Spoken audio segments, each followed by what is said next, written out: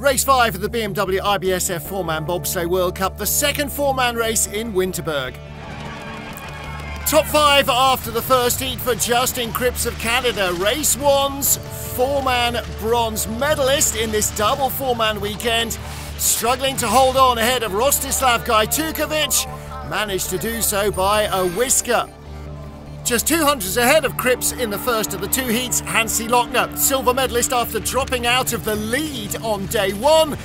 He rallied at the top of the track, but the speed simply wasn't there. He dropped behind Kripps and could not find his way back in front. His medal chances looked thin. Three to go, and Benny Maier just 400s ahead of leader Kripps. Maier was the bronze medalist in the race here in January. Kripps 24 hours earlier. Who would be in the medals in the second round? It was Benny Maier by 400s. A silver medal in the first race of the season in Innsbruck, tying with Hansi Lochner, was the best so far for Brad Hall. With his crew, another superb start and a great drive.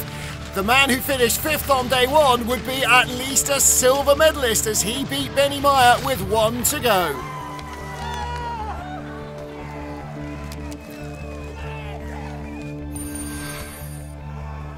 Trouble in the first heat of race one saw Francesco Friedrich have to fight his way from bronze to gold in the second. He didn't have the cleanest first heat here on day two in Winterberg either, but he had enough to lead and then tidied up his act to drive away to win by a comfortable margin.